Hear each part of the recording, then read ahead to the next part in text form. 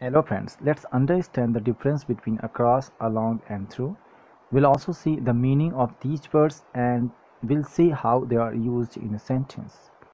Let's swim across the river. No, it's too wide. I can't swim across. Here across is a preposition with the river noun. Let's swim across the river.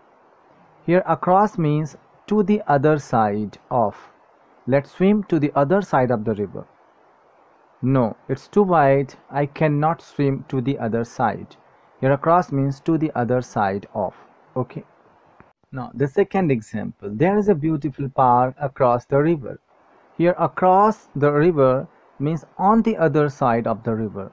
Across could also mean on the other side of.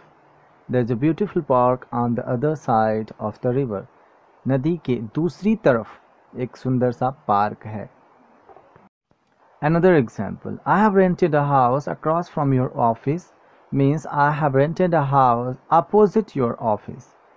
Across from means opposite. Okay? तुम्हारे office के सामने एक मैंने घर rent पर लिया है it means there is a road between your office and my house which I have rented कहने का मतलब आपके ऑफ़िस के सामने मेरा घर है तो सामने यहाँ पर मतलब है, एक रोड है बीच में और उस रोड के उस पार तुम्हारे ऑफ़िस के सामने मेरा घर है। जबकि अगर रोड नहीं होती बीच में, कोई स्ट्रीट नहीं होती, फिर इन फ्रंट ऑफ़ का यूज़ किया जाएगा।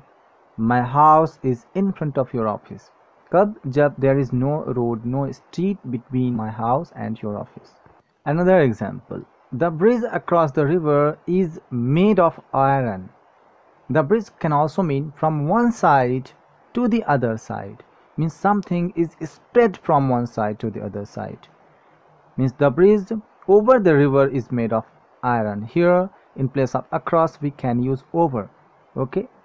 Thus we can use across for movement from one side of something flat to the other side.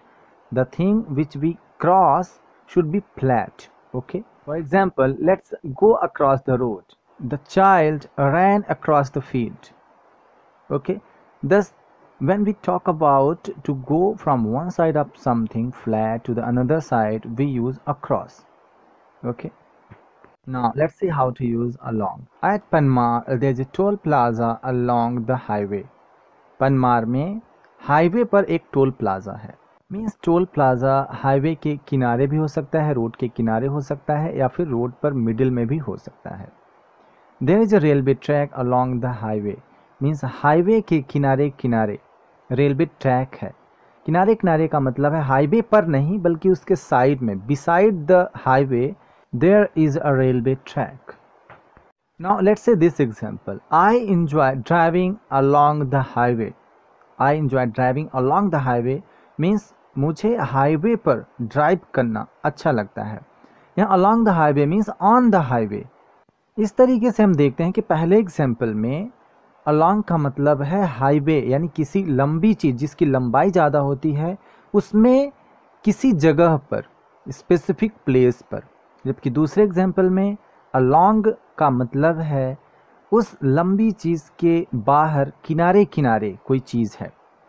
या फिर जो अभी एग्ज़ाम्पल तीसरा एग्ज़ाम्पल मैंने अभी बताया, उसमें अलॉन्ग का मतलब है हाईवे पर हाईवे की लंबाई के दिशा में जाना means to move in the direction of the length of the highway now let's say next example I went shopping along with my parents अपने पेरेंट्स के साथ शॉपिंग करने गया।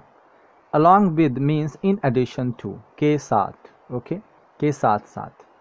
एज वी ड्रोव अलॉन्ग जैसे जैसे हम आगे बढ़ते गए along means to move forward here okay forward As we drove along, we saw beautiful houses along the road. हमने रोड के किनारे किनारे सुंदर सुंदर घर देखे okay and will go again next weekend और अगले वीकेंड पर फिर जाएंगे will you be coming along will you be coming with us okay here along means with us with me okay and we can also use through when we talk about the movement from one side to the other side of something For example, we went through a jungle to my friend's home. We went to my friends home through jungle means जंगल पार करके हम अपने दोस्त के यहाँ गए अपने दोस्त के घर गए। लेकिन यहाँ अक्रॉस का यूज़ नहीं होगा क्योंकि jungle is not something flat वो फ्लैट नहीं माना जाता। It's a three dimensional thing means it has a length it has a width and it has a height the trees in the jungle make its height जो जंगल के पेड़ हैं उसकी हाइट को बताते हैं जब हम किसी थ्री डायमेंशनल एरिया को पार करके जाते हैं we use through over there not across okay If you want to come to me, you have to drive through several towns. Here, drive through several towns means your direction will not remain the same, you know, throughout your journey. Okay. The children are running through the grass. Through the grass, it is considered something three-dimensional. It has a height, width, and length. You know, the grass on the field makes its height. So it's a three-dimensional thing. And we use through for the movement in the grass. We can use through in these examples as well. He entered the house through the window. He is looking at me through a hole. The water is coming through the tunnel. He came through the crowd. If you think the video was helpful to you and if you want to get notified when I upload new videos, please subscribe to the channel. Thanks for watching.